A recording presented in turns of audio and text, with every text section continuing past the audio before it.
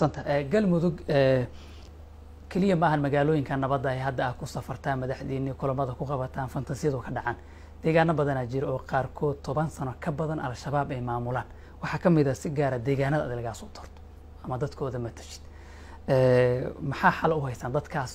Al-shabaab ay ku raageen muddo dheer dul yihiin horumare ka jirin nolol ka jirin. Maxaa u haysaan?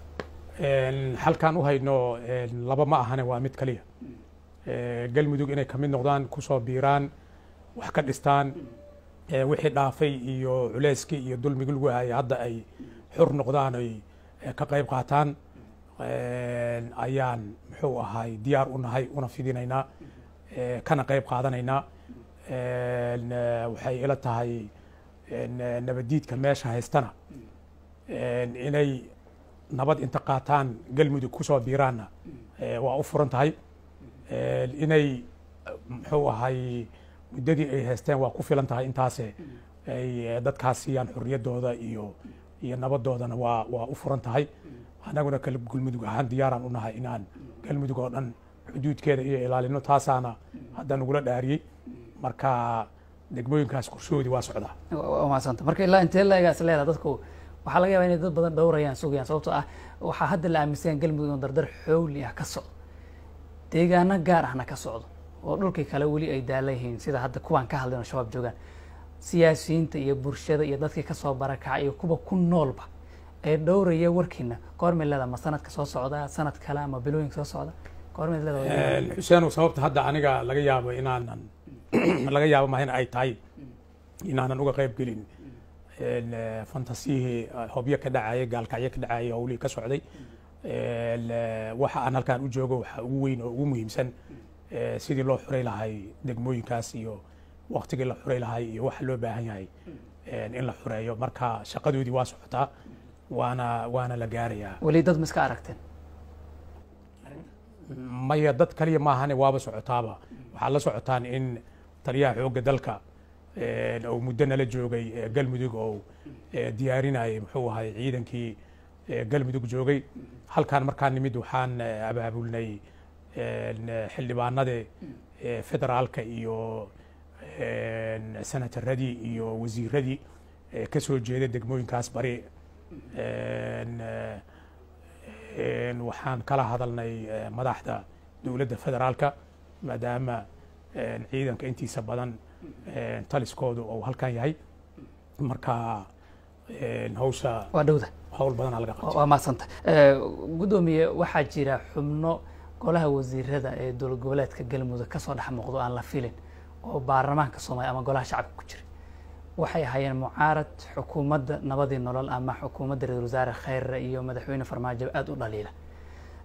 Sidee ayay ugu qanciseen xubno baarlamaankii soomaaliyeed ku jira oo xilal sare haya inaad dib ugu soo celisaan dowlad goboleedkii si ay uga qayb qaataan dhismaan galmudug xuseen waxaa jiro arrin anagu hadda aan bilownay dhammaan aan rabno dadka soomaaliyeed iyo gaar ahaan dhallinyaraduna inay aada u ogaadaan.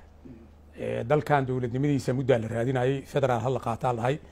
Federaal hala qaato markii la yidhi federaalka kor kama dhismi kariya waa inuu ka soo dhismo deegaanada.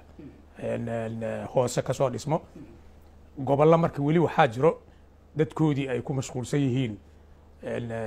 Dowladda federaalka iyo gobolka banaadir iyo villa soomaaliya ay aada ugu mashquuleen oo ay ka mashquuleen deegaanadii.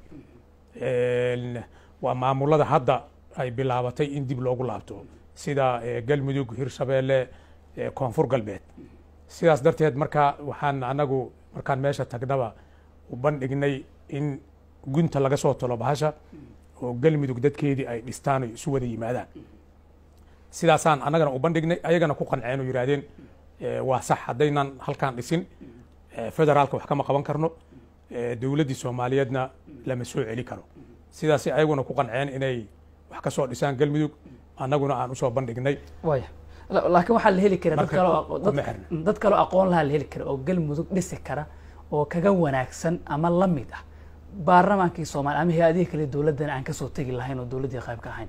Dadkaa maxaa u raadin weyday mise wax dhaamaad weyse horta raadis iyo raadis la'aan waxaa ka ka horreeya galmudug waxaad og tahay voluntary ama ama dhawci waaye camalkeedu. Ilaa hadda camal oo jagooyin iyo lacag iyo lagu qaadanayo ma ah marka qofkii asagu dhahayo jaga halkan aan ka haysto federaalkan diyaar waxaan u ahay inaan inta ka tago galmudug ka shaqaynayo inaan ka shaqeeyo waxay ila tahay inuu ka horeeyo qof walba.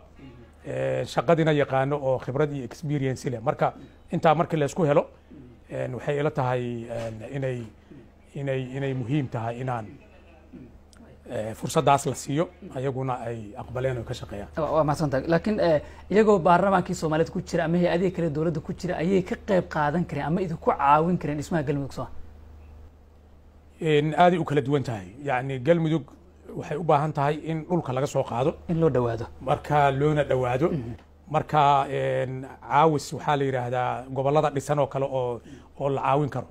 Marka from scratch marka laga soo bilaabayo waxa dabcan waxay u baahan tahay awood dheeraada. Marka ayaga hadday intaa qaateen qalabkoodii ay yidhahdeen anagu galmudugaan degaynaa waa uga mahad celinaynaa waan ku soo dhaweynayna shalay iyo daraad waxaa la baahinayay warbaahinta soomaalida qaar ay qorayeen in madaxda galmudug ay diideen inay ka mid noqdaan war-saxaafadeed ay wadajir u soo saari lahayn dowlad goboleedyada ma jirtaa wax war-saxaafadeed oo xaaladda soomaaliya ku saabsan oo ay idinka talageliyeen dowlad goboleedyada kale oo aad ka gaabsateen inaad ka mid noqotaan? Xuseenow dee aniga wararkaas la faafiyey iyo aada ugama warhayo laakiin tayna anaga markaan ka warhayno galmudug waxay qayb ka tahay broseska socdee federaalka ee doorashooyinkan lagu dhawaaqay iyo hawsha ay wadaan golayaasha federaalka ee halkan ka socoto. Waxaan bilowno ka qayb qaadanoon hadda dhammaynay dib u eegistii dastuurka qabyada. Waxaan ka mid nahay hadda wakiilada ama xiriiriyaasha dowlad goboleedyada ee hawsha ku jiro.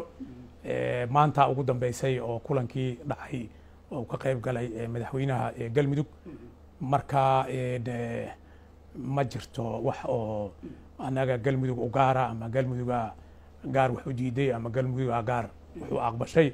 Marka hawshaas qaybta aan ku leenahay iyo kaalinta aan ku leenahay waa active waana waana wadnaa